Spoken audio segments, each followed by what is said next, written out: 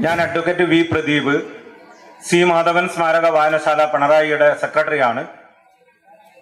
Library കോൺഗ്രസിന്റെ ഉദ്ഘാടനത്തിൽ ഇന്നലെ മുഖ്യമന്ത്രി പരാമർശിച്ചത് ഞങ്ങളുടെ വായനശാലയുടെ പ്രവർത്തനങ്ങളായിരുന്നു എന്ന അഭിമാനത്തോടെ ഈ റിപ്പോർട്ട് നിങ്ങളുടെ മുമ്പിൽ സമർപ്പിക്കുകയാണ്.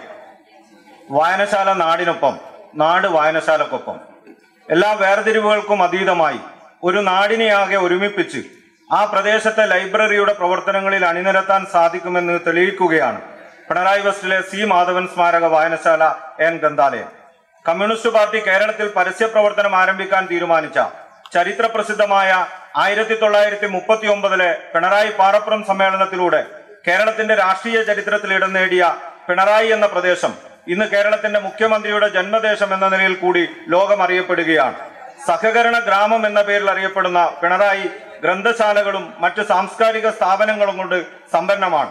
എന്നാൽ ദൈനംദിന സാമൂഹ്യ ഇടപെടലുകളിലൂടെയും വ്യത്യസ്തമാർന്ന പ്രവർത്തനങ്ങളിലൂടെയും ഒരു നാടിനെയാകെ ആ നാടിന്റെ സാംസ്കാരിക സ്ഥാപനവുമായി ബന്ധപ്പെടുത്തുന്നതിൽ വലിയ തോതിൽ വിജയിച്ചു എന്നതാണ് സി മാധവൻ സ്മാരക വായനശാല ഗ്രന്ഥാലയം മറ്റ് സാംസ്കാരിക സ്ഥാപനങ്ങളിൽ നിന്നും വ്യത്യസ്തമാകുന്നത്. ആയിരത്തി തൊള്ളായിരത്തി അമ്പത്തി എട്ടിൽ ഒരു കൂട്ടം പുരോഗമന ചിന്താഗതിക്കാർ ചേർന്ന് രൂപീകരിച്ച ശ്രീനാരായണ യുവജന ആശ്രിത സംഘം പിന്നീട് സാമൂഹ്യ പ്രവർത്തകനായ സി മാധവന്റെ അകാല വേർപാടിനെ തുടർന്ന് സി മാധവൻ സ്മാരക വായനശാല എന്ന് പുനർനാമകരണം ചെയ്യപ്പെട്ടു. വർഷങ്ങളായി വായനശാലയുടെയും യുവതാര ക്ലബിന്റെയും പ്രവർത്തനങ്ങൾ സജീവമായി നടന്നു വരുന്നുണ്ടെങ്കിലും അടുത്ത കാലത്ത് മാത്രമാണ് വായനശാലയോട് ചേർന്ന് പ്രവർത്തിക്കുന്ന ഗ്രന്ഥശാലക്ക് കേരള ലൈബ്രറി കൗൺസിൽ അംഗീകാരം ലഭിച്ചത്. പുസ്തകങ്ങളുടെ എണ്ണത്തെക്കാളും ഞങ്ങൾ നടത്തിയ വൈവിധ്യമാർന്ന പ്രവർത്തനങ്ങളിലൂടെയാണ് ഈ സ്ഥാപനം ജനശ്രദ്ധ ആകർഷിച്ചത്. കഴിഞ്ഞ വായനാ ദിനത്തിൽ സംഘടിപ്പിച്ച പുസ്തക പയറ്റ് പുസ്തക ശേഖരണ രംഗത്ത് വേറിട്ട ഒരു അനുഭവമായി മാറി. നാട്ടിൻപുറങ്ങളിലെ പഴയ കൊടുക്കൽ വാങ്ങൽ ബന്ധത്തിന് ഉദാഹരണമായിരുന്ന പണപ്പയറ്റ് അല്ലെങ്കിൽ കുറിപ്പയറ്റിന് പുതിയ രൂപം നൽകിയാണ് ഞങ്ങൾ പുസ്തക പയറ്റ് സംഘടിപ്പിച്ചത്.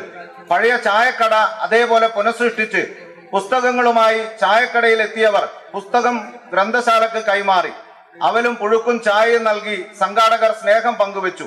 നാലു മണിക്ക് ആരംഭിച്ച പുസ്തകപ്പയറ്റ് രാത്രി പത്ത് മണിവരെ നീണ്ടുനിന്നു ഇതിനിടയിൽ കവിതാലാപനവും കഥാപരിചയവും ഒക്കെയായി സജീവ സർഗസംവാദവും നടന്നു. ഒരു നാടാകെ പുസ്തകങ്ങളുമായി വായനശാലയിൽ എത്തിയപ്പോൾ ഒറ്റ ദിവസം കൊണ്ട് രണ്ടായിരം പുസ്തകങ്ങൾ ശേഖരിച്ച് കേരളത്തിന്റെ പുസ്തക ശേഖരണ ചരിത്രത്തിൽ ഞങ്ങൾക്ക് പുതിയ അധ്യായം രചിക്കാൻ സാധിച്ചു. ഫലവൃക്ഷ വീതി പരിസ്ഥിതി ദിനത്തിൽ നടുന്ന വൃക്ഷത്തിന്റെ കണക്കുകൾ മാത്രമേ നാം ഓർക്കാറുള്ളൂ. അതിൽ എത്ര തൈകൾ സംരക്ഷിക്കപ്പെട്ടു എന്ന് വീണ്ടും മരം നടുമ്പോൾ നമ്മൾ ആരും പരിശോധിക്കാറില്ല. ഈ തിരിച്ചറിവിൽ നിന്നാണ് ജനകീയ പങ്കാളിത്തത്തോടെ ഫലവൃക്ഷ വീതി എന്ന ആശയം ഞങ്ങൾ മുന്നോട്ട് വെച്ചത്. കഴിഞ്ഞ പരിസ്ഥിതി ദിനത്തിൽ വായനശാല പരിധിയിൽ ഒരു കിലോമീറ്റർ ദൂരത്തിൽ റോഡിന്റെ ഇരുവശവുമായി നാട്ടിലെ മൺമറഞ്ഞു പോയവരുടെ ഓർമ്മക്കായി അവരുടെ കുടുംബാംഗങ്ങളുടെ സഹായത്തോടെ അൻപതിലേറെ ഫലവൃക്ഷ തൈകൾ നട്ടുപിടിപ്പിച്ചു. ഓരോ സംരക്ഷണ കൂടിനു മുകളിലും ആരുടെ സ്മരണക്കാണ് എന്ന ബോർഡും സ്ഥാപിച്ചു. സംരക്ഷണ കൂടിനും ഫലവൃക്ഷ തൈക്കും വളത്തിനുമുള്ള കാശ് ബന്ധുക്കളിൽ നിന്ന് സംഭാവനയായി സ്വീകരിച്ചു. കുടുംബാംഗങ്ങളും വായനശാല പ്രവർത്തകരും ചേർന്ന് എല്ലാ മാസവും ആദ്യത്തെ ഞായറാഴ്ച ഇതിന്റെ സംരക്ഷണ പ്രവൃത്തികൾ ചെയ്തു വരുന്നുണ്ട്. നാട്ടു പച്ചക്കറി ചന്ത. നാടിന്റെ പച്ചപ്പ് നിലനിർത്തുന്നതിനും പച്ചക്കറി കൃഷിക്കാർക്ക് തങ്ങളുടെ ഉൽപ്പന്നങ്ങൾക്ക് ന്യായവില ഉറപ്പു നൽകുന്നതിനുമായി എല്ലാ വർഷവും പിണറായി വെസ്റ്റ് വയലിൽ ഏപ്രിൽ മെയ് മാസങ്ങളിൽ തുടർച്ചയായ ഞായറാഴ്ചകളിൽ നാട്ടുപച്ചക്കറി ചന്ത ഒരുക്കാറുണ്ട്. ഉദ്ഘാടന ചടങ്ങിൽ വെച്ച് ആ പ്രദേശത്തെ കുട്ടി കർഷകരെയും യുവ കർഷകരെയും കർഷക ദമ്പതികളെയും എല്ലാം ആദരിക്കാറുമുണ്ട്. ലക്ഷക്കണക്കിന് രൂപയുടെ പച്ചക്കറി ഓരോ വർഷവും വിൽപ്പന നടത്താൻ സാധിക്കാറുണ്ട്. കർഷകർ ഉൽപ്പാദിപ്പിച്ച സാധനങ്ങൾ അവർക്ക് നേരിട്ട് വിൽപ്പന നടത്താനുള്ള വിപണി ഒരുക്കി കൊടുക്കുകയാണ് ഈ പ്രവർത്തനത്തിലൂടെ ഗ്രന്ഥശാല ചെയ്യുന്നത്. കണിക്കിറ്റ് വിതരണം പ്രാദേശികമായി ശേഖരിക്കുന്ന കണിവെള്ളരിയും കണിക്കൊന്നയുമെല്ലാം ചേർത്ത് വായനശാല പരിധിയിലെ മുഴുവൻ വീടുകളിലും കണിക്കിറ്റ് വിതരണം നടത്തി പ്രശസ്ത കലാകാരൻ സൂര്യ കൃഷ്ണമൂർത്തി പരിപാടി ഉദ്ഘാടനം ചെയ്തു. ഗൃഹപ്രവേശനം ഓർമ്മമരം പദ്ധതി.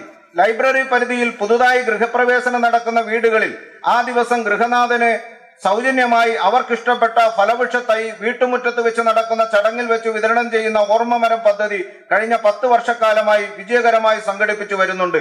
ആദ്യഘട്ടത്തിൽ നൽകിയ ഫലവൃക്ഷങ്ങൾ കായ്ച്ചുവെന്ന സന്തോഷവും ഞങ്ങൾ പങ്കുവെക്കുകയാണ്. മഴ മഹോത്സവം. മഴയെയും മണ്ണിനെയും അടുത്തറിയാനായി പിണറായി വെസ്റ്റ് വയലിൽ സംഘടിപ്പിച്ച മഴ മഹോത്സവം ആവേശകരമായ ഒരു അനുഭവമായിരുന്നു. ഒരു നാടാകെ പ്രായഭേദമില്ലാതെ മണ്ണിലും ചെളിയിലും ഇറങ്ങി കമ്പവലിയും ഫുട്ബോളും നാട്ടിപ്പാട്ടും നാടൻ പാട്ടും പാട്ടിനൊത്തു നൃത്തവുമൊക്കെയായി ആർത്തുല്ലസിക്കുന്ന അപൂർവമായ ഒരു കാഴ്ചയായിരുന്നു മഴ മഹോത്സവം ജില്ലയുടെ വിവിധ ഭാഗങ്ങളിൽ നിന്നുള്ള പ്രകൃതി സ്നേഹികളടക്കം ആയിരക്കണക്കിന് ആളുകൾ ഇതിൽ പങ്കെടുത്തു. ഊഞ്ഞാൽ ഓണാഘോഷം. ഗ്രന്ഥാലയത്തിനടുത്തുള്ള വിശാലമായ ക്ഷേത്രപ്പറമ്പിലെ മരങ്ങളിൽ ഇരുപത്തഞ്ചിൽ പരം ഊഞ്ഞാൽ കെട്ടി പൂക്കളാൽ അലങ്കരിച്ച് അതിൽ ആപാലവൃദ്ധം ജനങ്ങൾക്കും ആടാൻ അവസരമൊരുക്കുന്നതോടൊപ്പം പുലിക്കളിയും തിരുവാതിരയും ഒരുക്കിയാണ് ഓണാഘോഷം സംഘടിപ്പിച്ചത്. തലശ്ശേരിയിൽ തെരുവിൽ അലയുന്നവർക്കും വേങ്ങാട് കാരുണ്യ ഭവനിലും ഓണ ദിവസം ഓണസദ്യയും ഒരുക്കുന്നതോടൊപ്പം ലൈബ്രറി പരിധിയിലെ മുഴുവൻ വയോജനങ്ങൾക്കും ഓണക്കോടിയും വിതരണം ചെയ്തു. സായന്തനത്തിൽ ഒരു സ്നേഹസ്പർശം. വയോജനങ്ങളെ ചേർത്ത് പിടിക്കുന്ന നിരവധി പ്രവർത്തനങ്ങൾ വയോജന വേദിയുടെ നേതൃത്വത്തിൽ ഗ്രന്ഥശാല സംഘടിപ്പിച്ചിട്ടുണ്ട്. മുണ്ടേരി പക്ഷി നിരീക്ഷണ കേന്ദ്രത്തിലേക്കുള്ള യാത്ര വാന നിരീക്ഷണ ക്ലാസ് ബുക്ക് ബൈൻഡിംഗ് പരിശീലനം പരീക്ഷാ പേടി അകറ്റാനുള്ള മനഃശാസ്ത്ര ക്ലാസുകൾ ചിത്രരചന പരിശീലന ക്ലാസ് പഞ്ചായത്ത് തല L S S U S S പരിശീലന ക്ലാസ് തുടങ്ങി നിരവധി പ്രവർത്തനങ്ങൾ ഏറ്റെടുത്തിട്ടുണ്ട്. കുട്ടികളുടെ സ്വന്തമായ ഒരു കലാ ട്രൂപ്പ് നിലവിലുണ്ട്. വനിതാവേദി. വനിതാവേദിയുടെ നേതൃത്വത്തിലും കേക്ക് നിർമ്മാണ പരിശീലനം കൂൺകൃഷി പരിശീലനം പേപ്പർ ബാഗ് നിർമ്മാണ പരിശീലനം തെങ്ങുകയറ്റ പരിശീലനം യോഗ പരിശീലനം എന്നിങ്ങനെ വിവിധ പരിശീലന പരിപാടികളും നിയമബോധവൽക്കരണ ക്ലാസ് അടക്കമുള്ള നിരവധി ക്ലാസുകളും സംഘടിപ്പിച്ചു. വനിതാ കലാട്രൂപ്പും സ്വന്തമായി നിലവിലുണ്ട്.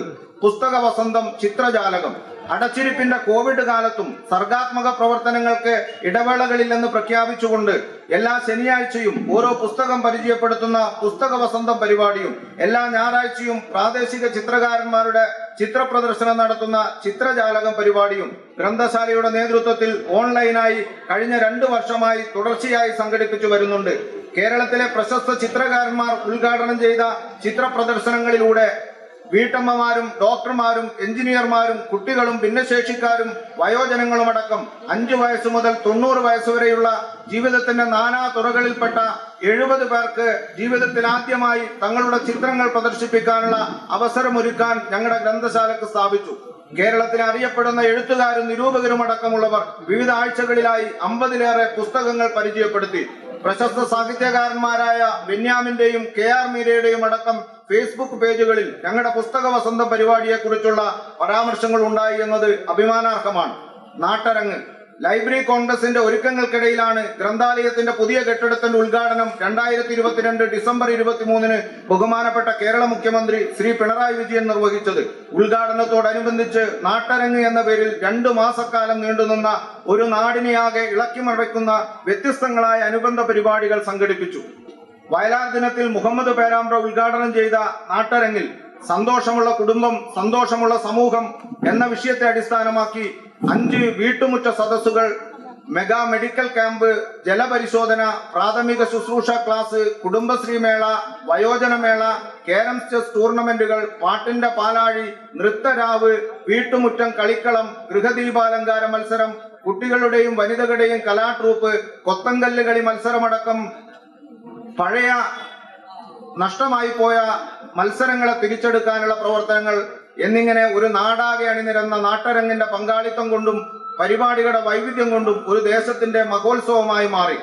തുടർന്ന് കൂടുതൽ കരുത്തോടെ മുന്നോട്ടു പോകാൻ ഈ ലൈബ്രറി കോൺഗ്രസ് ഞങ്ങൾക്ക് പ്രചോദനമാകുമെന്ന് വിശ്വസിക്കുന്നു.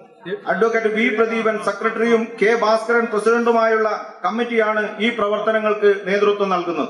നന്ദി.